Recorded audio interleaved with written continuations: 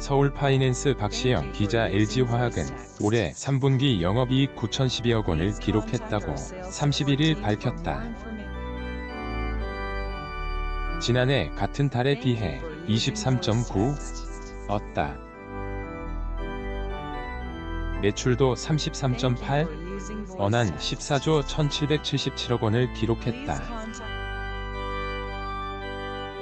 차동석 LG화학 최고 재무 책임자 부사장은 글로벌 경기 침체에 따른 석유화학 시황 악화가 본격화하면서 수익성 감소 영향이 있었다면서도 첨단 소재, 에너지 솔루션 등 신성장 동력 사업에서 매출 성장과 수익성을 높이면서 연결 기준 견조한 실적을 달성이어 4분기를 저점으로 향후 석유화학 시황의 점진적 개선이 전망되는 가운데 양극재 등 첨단 소재의 근간인 전지재료 사업을 지속 확대하면서 이 규모를 늘려나갈 것이라고 말했다. 사업 부문별로 보면 석유화학 부문은 유가 상승과 글로벌 인플레이션에 따른 수요 감소로 주요 제품의 수익성이 하락해 매출 5조 4,931억 원, 영업이익 926억 원을 기록했다. 4분기에는 글로벌 수요 부진이 지속되고 공급 증가 등으로 어려운 시황이 예상된다. 다만 올해 하반기를 저점으로 향후 점진적인 시황 회복이 전망된다. 첨단 소재 부문은 매출 2조 5,822억 원, 영업이익 4,158억 원을 기록했다. 진지재료 출하 확대와 판가, 상승에 따른 매출 성장세가 지속됐으며 IT 반도체 전방 시장 악화 속에서도 양극재 사업 비중이 확대되며 수익성 규모도 확대됐다.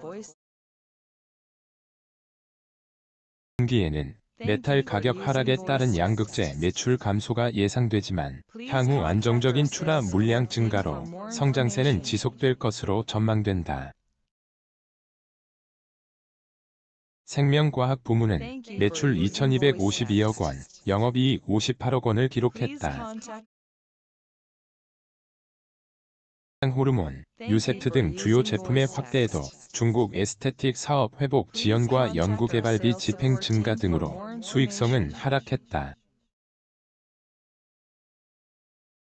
분기에는 백신과 성장 호르몬 등 주요 제품 출하 확대로 매출 성장이 기대되는 가운데 신약 과제 임상 진행에 따른 알